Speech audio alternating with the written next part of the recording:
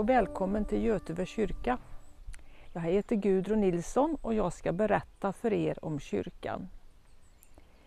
Göteve kyrka ligger på en höjd, välkomnande och väl synlig från alla väderstreck. Kyrkan är belägen på samma nivå som tornet på Floby kyrka, fem kilometer västerut. Och höjdskillnaden märks och känns när man cyklar mellan Göteve och Floby. Granne med kyrkan ligger församlingsgården Götevegården. Kyrkan är från 1100-talet precis som så många andra kyrkor i Skara stift. Kristendomen hade fått fäste och då byggdes det naturligtvis kyrkor. Tänk om väggarna här kunde berätta om människorna som har haft denna kyrka som sin. Hur såg deras liv ut och hur påverkades livet av allting runt omkring? Den ursprungliga kyrkan var inte så stor, ungefär fram till fönstret där. Där fanns inte något vapenhus och inte någon sakristia. Det fanns en ingång här på söder för män och motsvarande på norra sidan för kvinnor där idag är ett fönster och en markering på väggen var porten har varit.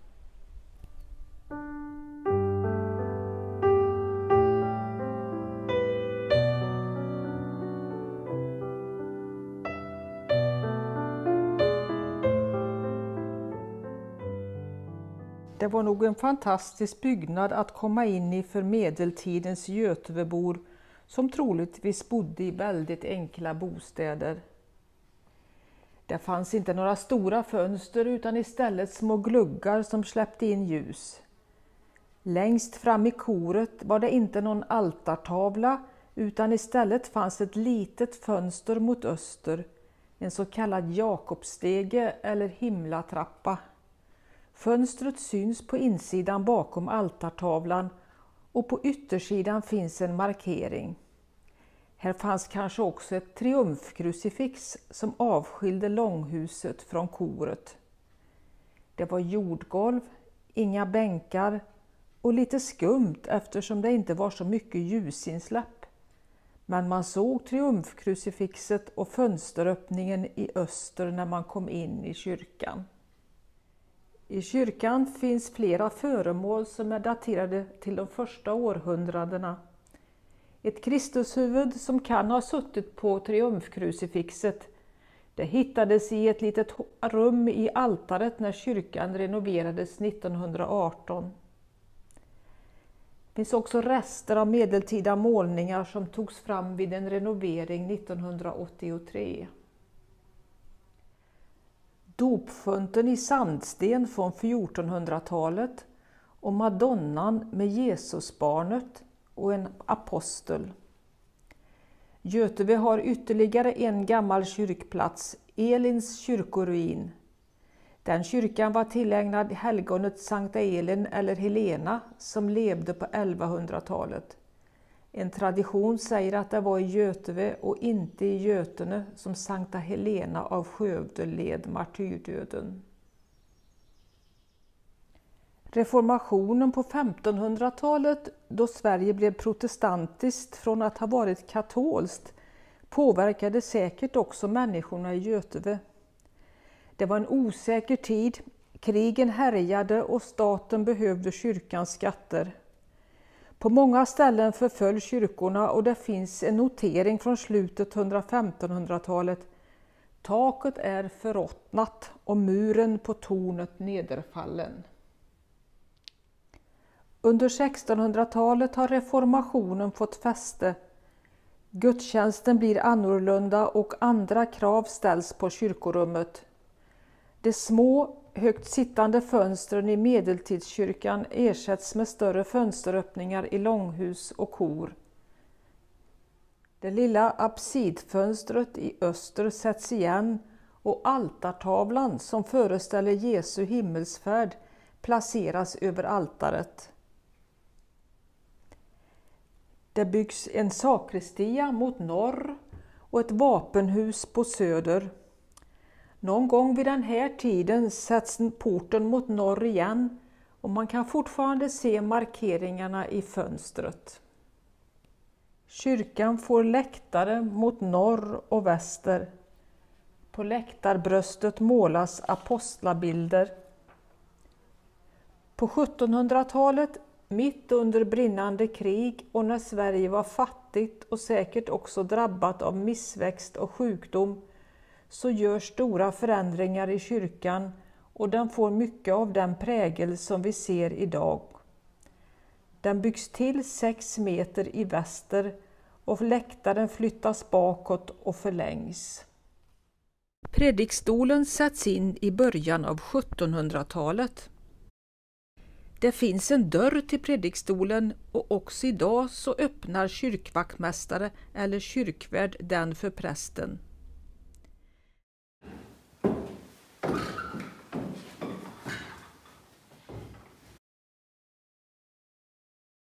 Efter reformationen får predikan större betydelse och den skulle vara så lång att även prästen kunde bli trött och behöva sitta ned en stund.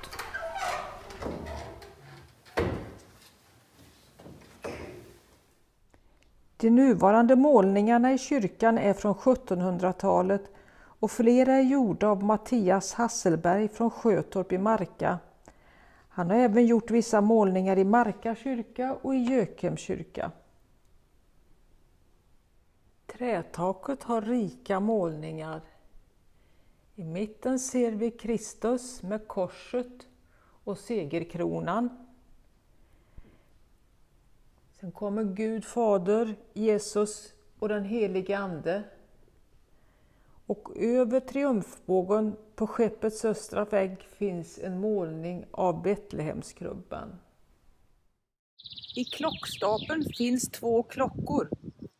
På den lilla klockan står Kommer låt oss tillbedja och knäböja och nederfalla för Herranom, den som gjort haver, ifrån Saltaren. Det sägs att en gång har tre bloddroppar fallit från kläppen. Det tolkade man som att klockan genom en olyckshändelse ska döda tre personer.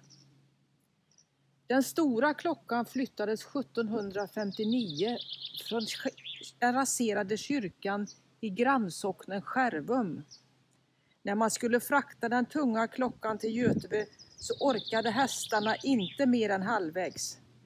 Då ringde man i den lilla klockan som hängde i stapeln i Göteve och hästarna orkade gå resten av vägen. I Göteve kyrka finns seden kvar att klämta för hand i samband med tacksägelse.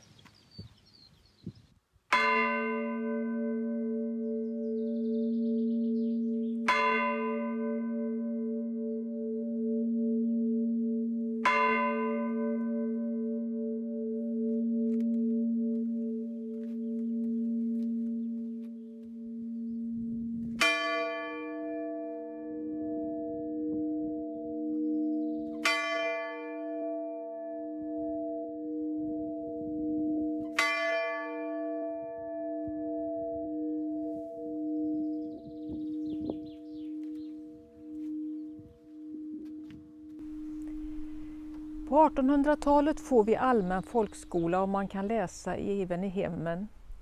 Man samlas omkring predikosamlingar, så kallade postillor, och man läste Bibeln och hela Sverige präglades av en andlig väckelse. Göteve kom att bli en ort som präglades av den evangeliska väckelsen EFS. Prästerna i Floby pastorat förstod att detta var något gott och redan från början var samarbetet gott mellan väckelsens ledare och prästerna. Behovet av gudstjänster var stort och Göteborgs kyrka var säkert fullsatt varje söndag. I början av 1900-talet var kyrkan i stort behov av renovering. År 1912 var det stor fältmanöver i bygden och kung Gustav V lär ha besökt kyrkan och påtalat att den verkligen behövde renoveras. Men man hade byggt ny skola och hade skulder på den så det fick dröja. Och skulle man bygga ny kyrka, riva den gamla eller skulle man renovera den? Åsikterna om detta var delade i bygden Men som tur var så blev det en renovering och den återinvigdes den 15 december 1918. Ingången flyttades från söder till den nuvarande i väster och det byggdes ett vapenhus. Den gamla fina dörren flyttades med till den nya porten. Ett par år efter renoveringen så byggs IFS-kapellet. Det andliga livet i bygden var rikt och levande. Gudstjänst i Göteborgs kyrka på förmiddagen och i kapellet på eftermiddagen.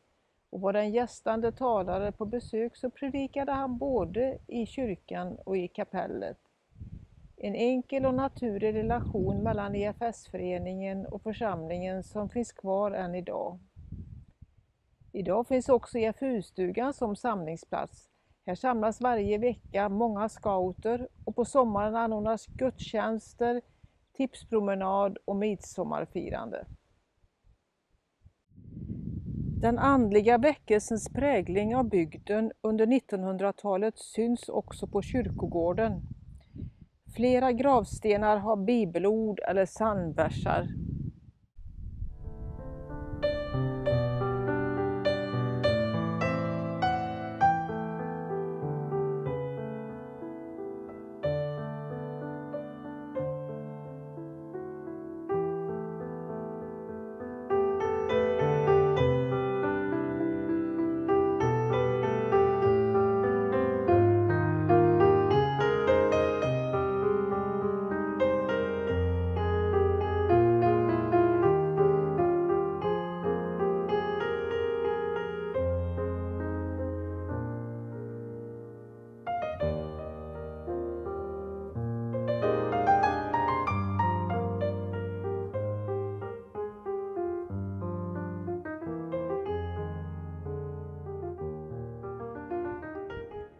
Göteborgs kyrka är inte en byggnad som sett likadan ut genom seklerna.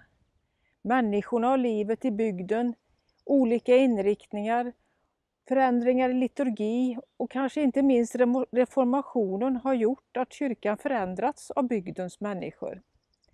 De senaste hundra åren så har kyrkan genomgått flera olika renoveringar. Den senaste var 2018 när hela kyrkan kalkades om och då man under lagren av puts hittade en gammal flaga som var gul. Idag har kyrkan fått tillbaka den ursprungliga gula färgen som den hade för flera hundra år sedan. Göteborna tycker mycket om sin vackra kyrka som vårdats av många generationer och som har fått betyda så mycket för människor i flera hundra år.